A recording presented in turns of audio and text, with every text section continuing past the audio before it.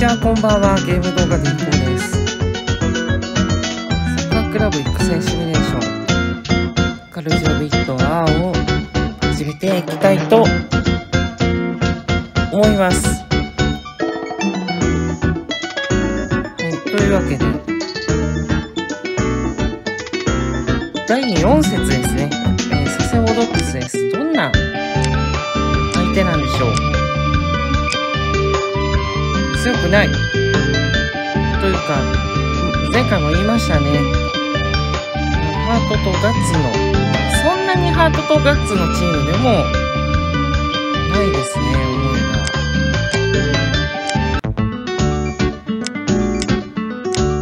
まあ、勢い切らずに勝っていきましょう。勝負の年です。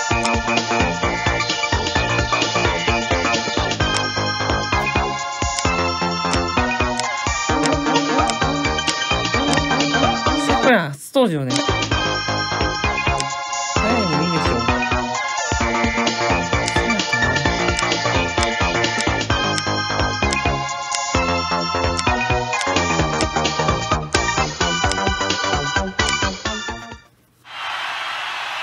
まあ、ダントツでしょうね。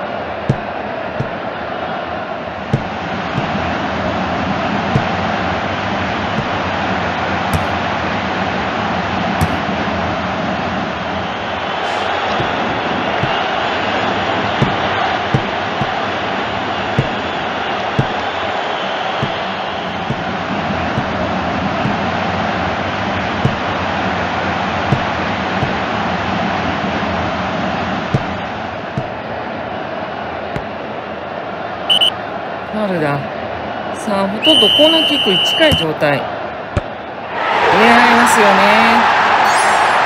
先制点を許してしまいます。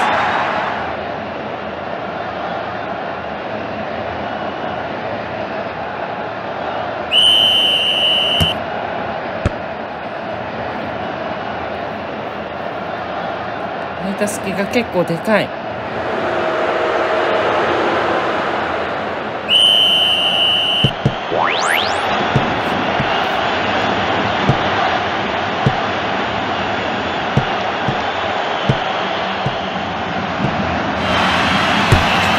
って。いくこれです。このチームだけステータスと一致してなくないか？ちょっと無理があります。早く同点に追いつきたい。追いついた。切れません。試合振り出しです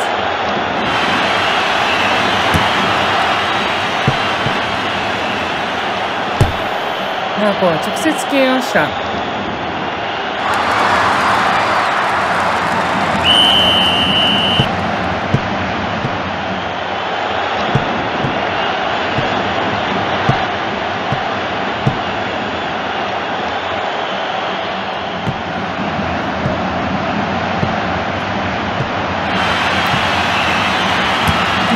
センタリングですよ。これ追いつくかやっぱり厳しいか。と縦バスピンチだ。なんとかここは逃れました。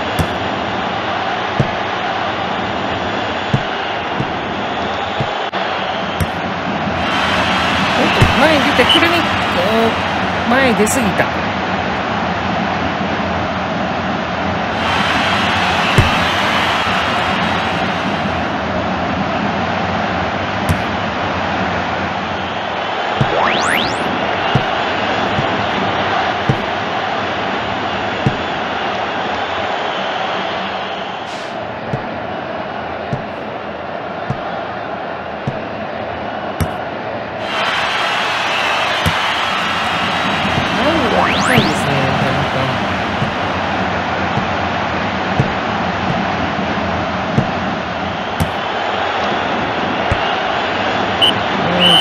終了。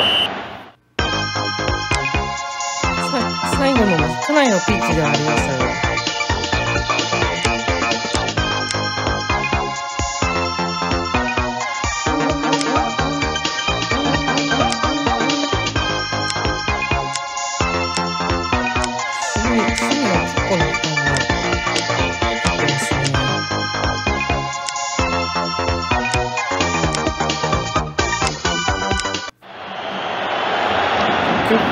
します。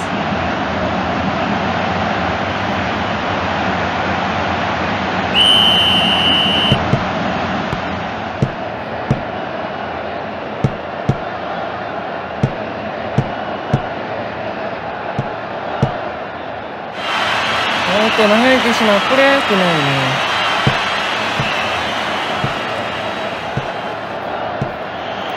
なるべくボールをキープかなければなりません。え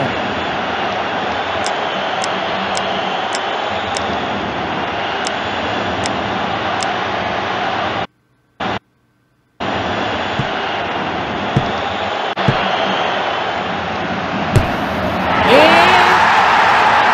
また勝ち越された。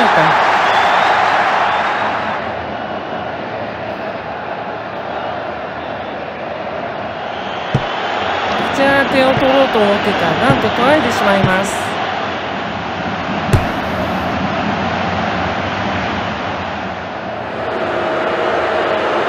このチームは何でしょうね。パラメーターが点にならない感じでしょうか。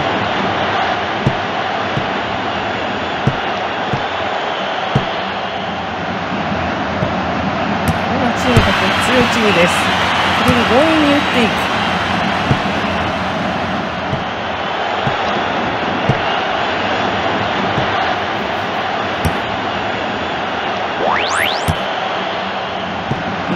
点取られると本当にやばいぞ。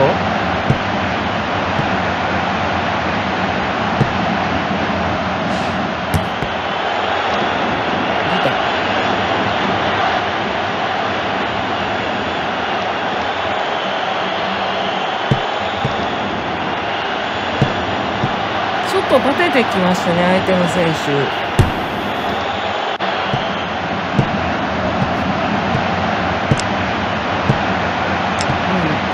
ソードックスをまばてている。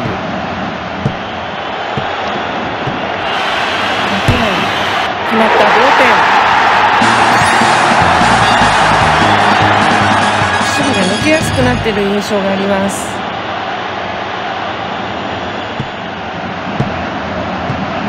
ほとんど人いませんし簡単にブロックされてますので、ね、これはチャンスかもしれません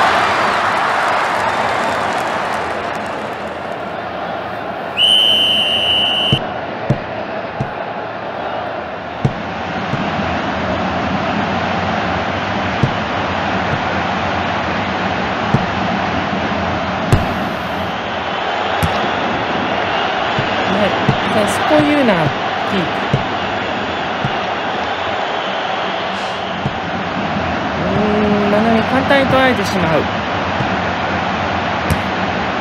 ほとんど時間はない。ええ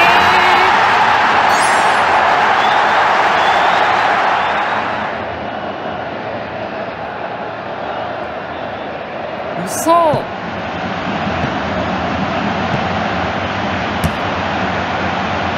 待ってたここ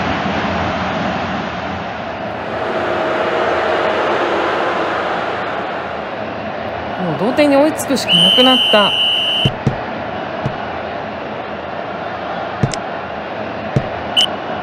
おー試合が終わってしまう。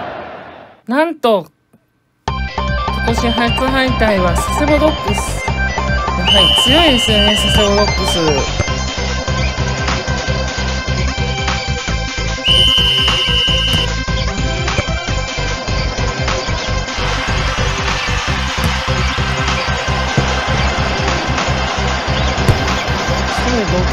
きます。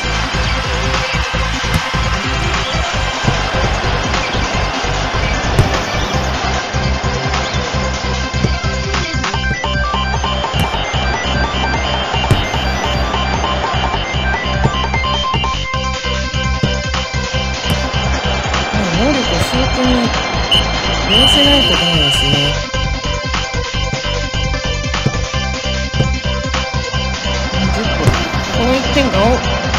くのしかかることになります。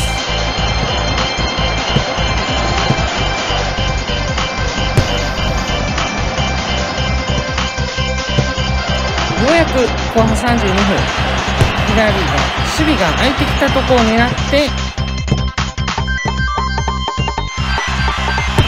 同点弾を決めますさあこれで勢いに乗ったかと思うとなんと花見が浅い点をボールを捉えてしまって心に決められてしまいます。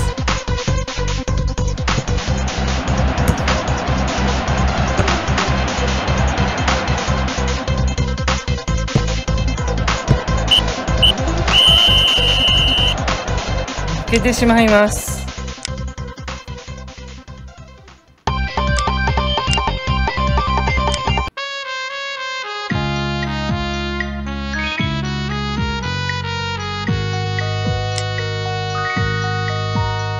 で2位に落ちます。筑波高間が首位へ。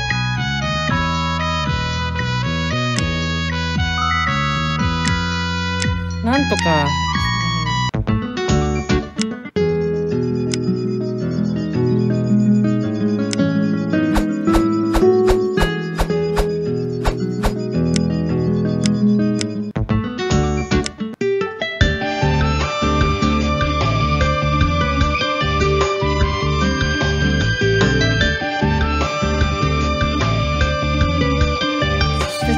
エルドアード・ウォッシュですね。もちろん強豪チーム。岩瀬大阪に敗れた以外は全部勝っております。はい、というわけで、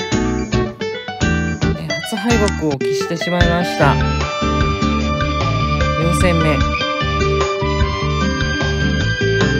や、さすがロックス強いわ。我がチームだけ強いっていうとこでしょうかね。またはいえ、これ上位と当たってるからこそ、弱く見えただけで、かなり鹿児島とは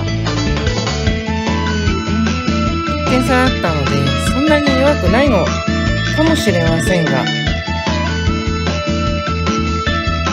ちょっと捕獲を取ってしまいました。次で巻き返したいと思います。ただきありがとうございました。ゲーム動画でいこうでした。